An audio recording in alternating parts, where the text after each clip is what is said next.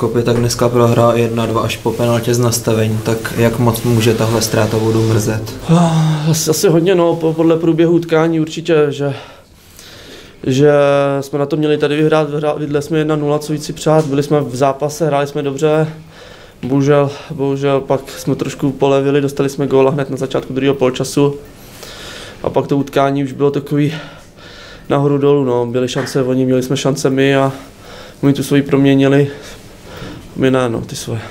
Hlavně v prvním poločase, tak třeba to první půl hodinu jsme měli hodně šancí, tak rozhodlo podle tebe ten další průběh, že třeba jsme ne- nevyhráli nebo že jsme nedali dva na 2-0. Je to tak, no do těch 30. minuty jsme hráli,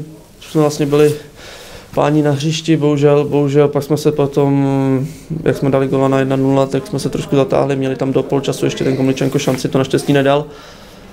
Ale, ale nedal polčas 1-0, my výjdem z kabiny, na je to 1-1, na druhou stranu ten hráč dobře trefil zas, ale pak za minutu jsme tam měli vlastně na malém vápně šanci hned a když jsme da- dali, tak se zase dostaneme do zápasu a, a Boleslav musí hrát, my se můžeme trošku na to počkat, tak jsme chtěli vyhrát, bylo to nahoru dolů. Vyhrát mohli oba týmy, si myslím, že tam byly šance na obou stranách, bohužel, bohužel se to přiklonilo k ním.